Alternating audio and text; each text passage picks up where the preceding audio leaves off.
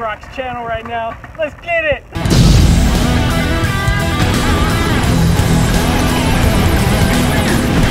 Get back! Oh! Care level is easy. Easy fish. We're going on a two-year anniversary trip to Brownsville.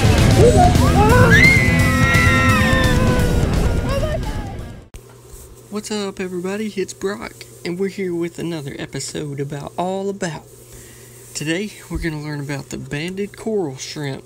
Super cool looking guy. Let's start it off. Care level is easy. Temperament, semi aggressive. They seem to get meaner as they get older, kind of like a like a grandpa. No, I'm just kidding. Just watch them as they get bigger because they can get pretty aggressive towards fish. Reef compatible? Yes. Temper temperature keep it 72 to 78.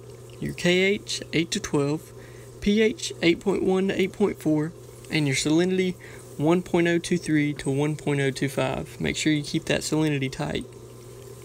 Max size 3 inches. These guys get pretty big.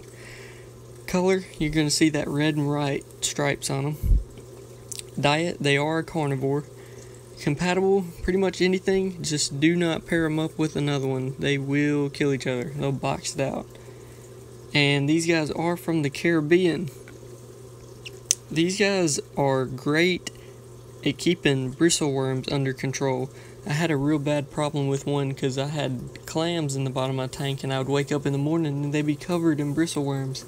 But these guys definitely keep it under control if you're having a bristleworm problem because they're going to cut them up, eat them.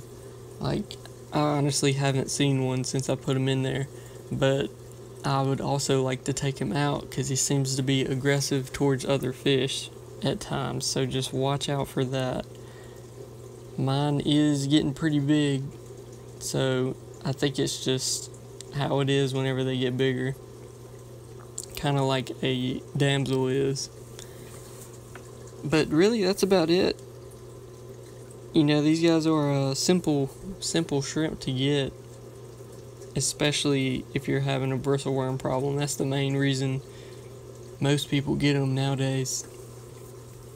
And he's also, I mean, he's just going to be a scavenger in your aquarium.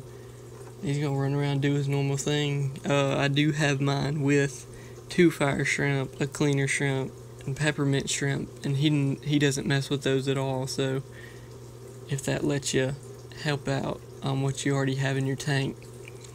But really, that's it. He's a simple guy. You should definitely try him out. This was all about the banded coral shrimp.